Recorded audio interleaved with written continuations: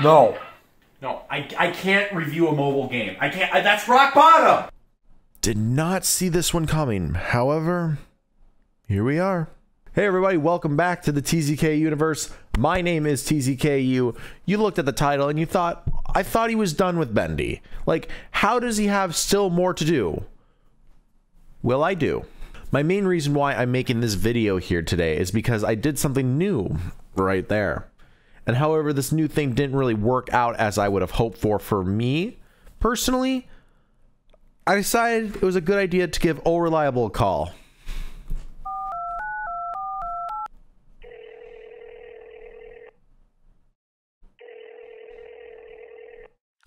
Save my dying channel. But then O Reliable tells you it has nothing left but the mobile game and that the other main entree isn't quite done yet. What? So after a quick cry and defeat, we pick up the mobile game and I immediately regret this decision. here is my take on mobile games. Mobile games should be something you could pick up and play if you're bored out in public, whether you're in the passenger seat of a vehicle, out at the park, or even at your favorite restaurant waiting for your food. These games should not be games you should play obsessively. Those games are for stupid idiots.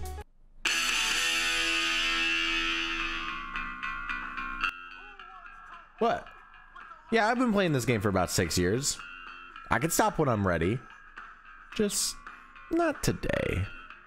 Now back to the topic of this video. What's this game like? It's Temple Run. But the cameraman is a lot faster than you. Nowadays, mobile games have all been done. Angry Birds, Temple Run, Cut the Rope. Honestly, I can't recall the last time I've seen a very unique mobile game. Nightmare Run is slightly unique. It's a boss battle and it, and it has an ending that you can achieve without dying. So that's pretty cool, I guess. Let's dig deeper into this game and give it the proper review it deserves. Now, before we get to the gameplay, there are a few things I want to mention when you open up the game. So, we're gonna. Yo, yo, TZ. Uh, hey, IHS Games. Um, is that you? How did you get here? Yeah, I was kind of wondering maybe if I could get a few parts in this video. Uh, well, thanks for answering the question on how you got here, but you know what? Yeah, sure. How about yeah, go right ahead. Actually, you can have you can have this part. Go right ahead. Sweet. Thanks for letting me take control of your video, TZ. Hey, that's not what I said. The prime time to play this game was definitely within the release back in 2018, because at that time, this game will let you play the whole game without a single ad, unless you watch an ad to make your character have more health. Now, it's riddled with ads everywhere. Oh, they threw ads in there? But be warned, there are advertisements. But I'm not saying ads are bad in any way. It's a way companies can make money off an app that you can get for free and the consumer doesn't want to purchase any of the in-game packages. However, start a game, ad. Get some extra health, ad. Finish a game, ad. There are four different episodes this game has to offer, five levels in each of them. After being the fifth one, you unlock an endless run. Basically, if you want to grind for a new high score, or need extra soup for the shop. Thank you, IHS Games. Uh, I'll be taking control back of my video again, uh, and I'll, I'll see you next time. Now, I'm going to get some mood lighting in here, so that way, that way, we got the perfect mood for the rest of this video. Yeah, I'm not really all that worried about that. Don't worry about it. Upon opening the app for the first time on a new account, you are given a daily reward of 100 soup cans. Basically, this is meant to be a driving point to come back every day and receive free currency and watch it grow in numbers as you log in consecutively. So we hit collect on that and receive 100 cans. You can, however, watch an ad for a bonus 50 cans, but that's really up to you. Come back tomorrow and receive 200 No. And we are now in the game. IHS has already told you about the four episodes, so let's open up the first episode of Bendy Walks the Plank and start Act 1. You will notice little bonus missions for extra soup cans, which is a nice addition while you're playing the episode, and you can come back and collect more while you're at it. So we click on Act 1 and start our adventure in Bendy Hell once more. You haven't seen the last of me, TZ. God damn it, no. How the hell did you get back in here? Anyone could build a voiceover tutorial. Come on, I promise I will stop after this. Fine, take it away. When you start the game, you will get a tutorial. Swipe left or swipe right to move, left or right. You can jump by swiping up. Doing a double swipe will cause you to double jump, and if you swipe down while mid-air, you can ass smash whatever unfortunate being gets below you. It will tell you about picking up weapons. Swipe over to the weapon to pick it up, and tap it anywhere to throw the weapon behind you. Collect the soup cans to purchase new abilities and characters in the store. This is something we'll get to later. If you take damage in your run, you can collect health packs to heal up. And that was the tutorial, easy and informative to what the game has to offer. Okay, thank you for your help, IHS Games, but I'm gonna be taking control of the rest of the video. You know, considering it's my video. Wait, what? How do you plan on getting rid of me, huh? I will find my way back in. By doing this. Anyways, let's progress back to the video. Starting with Act 1, it's super, super easy. Boss health is at 15 and it goes up each act, also increasing the difficulty of obstacles being thrown at you. Should probably mention that there are names to each of these bosses. This is Chester. He will use his tentacle lash attack to send a shockwave towards Bendy. You are given an indicator on where to move, so thankfully there is a warning. This is all he does in Act 1. Every time you take a third of his health in a single run, the boss will disappear and leave you to fight off little grunts. Early acts, you will only have to take out one or two waves of enemies, whereas later acts, you can have up to three. Take out the grunts and return to the boss. After finishing an act, you will receive XP for the run you just completed, judged by how far you went and how many enemies you killed. Level ups include more health for the selected character or a new costume that the character can wear. XP, however, is not shared, so if you're gonna max level, which is 20 by the way, you have to play as everybody. In Act 2, he adds a few new attacks. He will add spitballs, fireballs. I'm so lost on this. He will also throw barrels at you. The barrels don't give an indicator on where they are thrown, so you'll have to pull either a last second dodge since it's kind of hard to tell where it's being thrown at first. From my experiences of playing the game, I will notice that when it's thrown, it will be at the place that you were standing at last. So pretty much just don't be in that position until the barrel passes. In Act 3, he will shoot out three fireballs, and they will attack in random sequences. For example, it will land on the left first, and then it will hit the middle, and lastly, the right path. Thankfully, there are no attacks that are unavoidable in this game.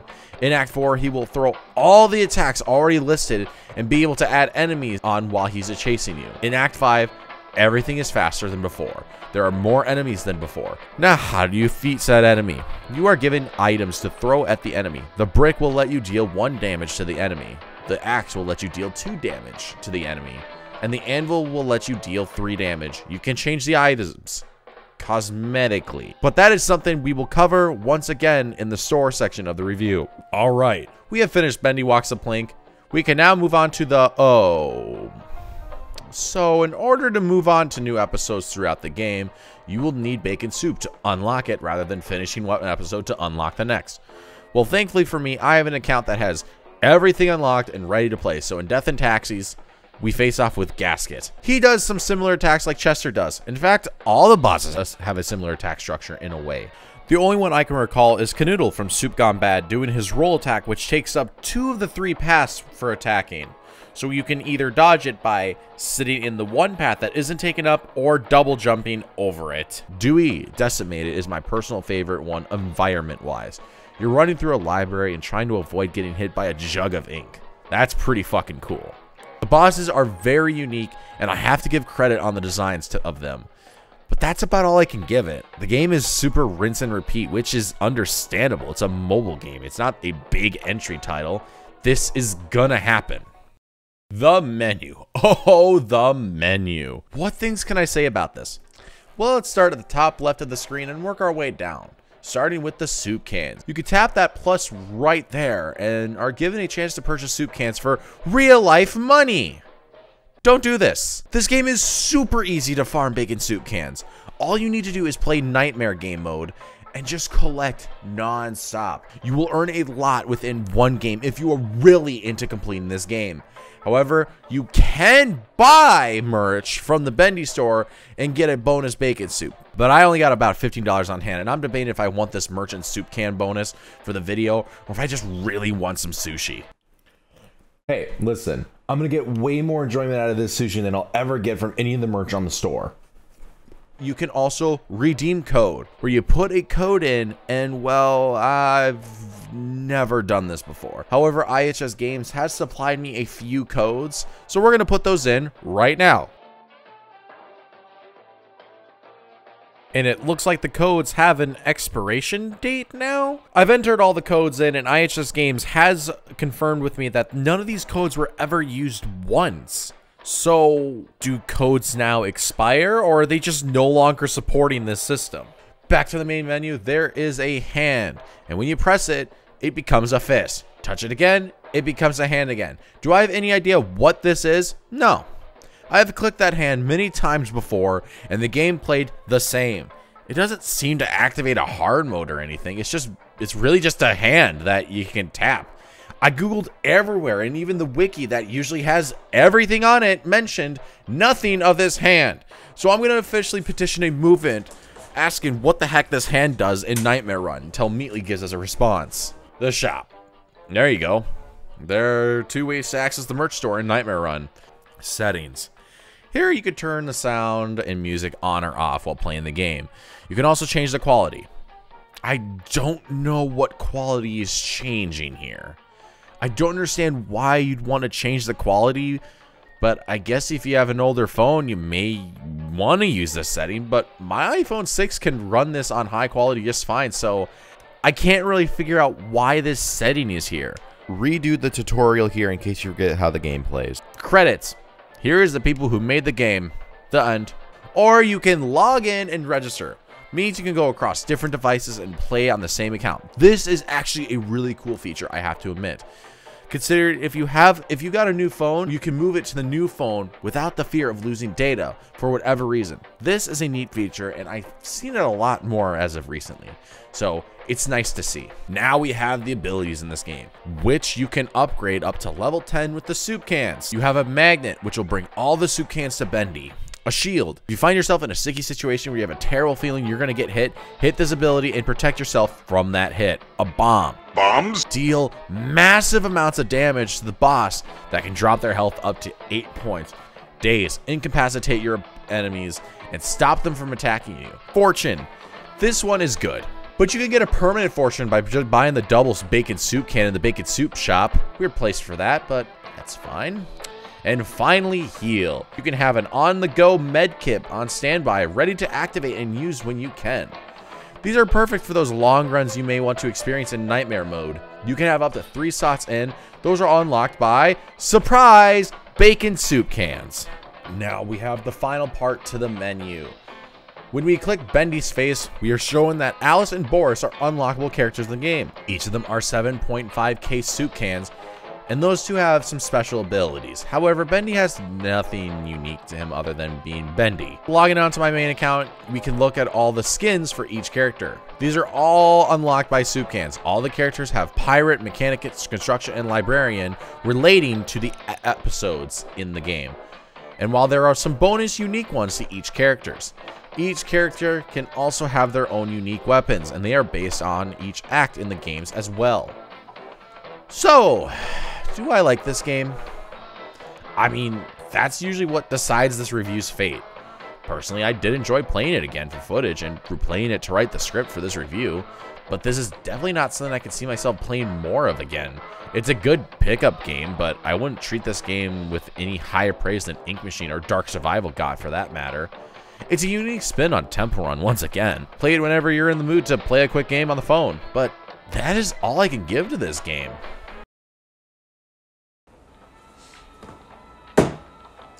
Well, ladies and gentlemen, bendies of all ages, that is the review video, which pretty much means I've covered everything there is to cover that revolves around Bendy. So, my next request is, hi, Bendy developers, hi guys, hi. I know you guys don't really like me, but listen, I've reviewed all of your games including the other game from you know the, the Showdown Bandit one. See, I covered that. I reviewed them all, and typically I've kind of given them all good ones. Except Showdown Bandit, that one wasn't really my favorite, personally. But I'm asking you kindly right now. Please, give me a review copy of Dark Revival. I'm just joking with you guys. you don't have to give me a review copy. I want to say thanks to IHS Games for uh, collaborating with me on this one. Uh, if you haven't checked out his channel, hey, be sure to check it out. It's in the description. Uh, he covers the horror genre like crazy over there. So if you guys are horror fans, which I know a vast majority of you guys are over here, be sure to check out his YouTube channel. Personally, I think it's a great YouTube channel, and I hope to see it grow big someday. Uh, he definitely deserves it. He's working very hard, and I look forward to seeing more content from him. That's all for Bendy content for the time being. The Next time, we'll probably see Bendy on this channel. 2021. That's this year. When did I write this script? Well, everybody, thank you so much for tuning into today's review video. No ending skit for me. See, I'm trying to distance myself a little bit from the Fiend a little more. You know, considering the fact that he's not even my character. He belongs to WWE, and he's also under the name of Bray Wyatt. Wrestling. If you don't understand, it's okay. So, that's why I'm just going to end it saying farewell, every. The lighter was there just a second ago.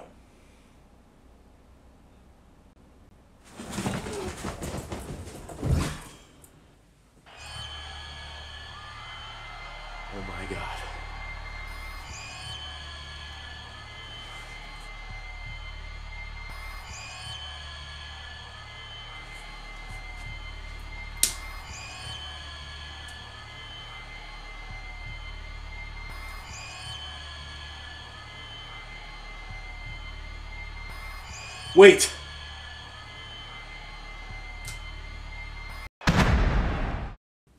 I got an idea.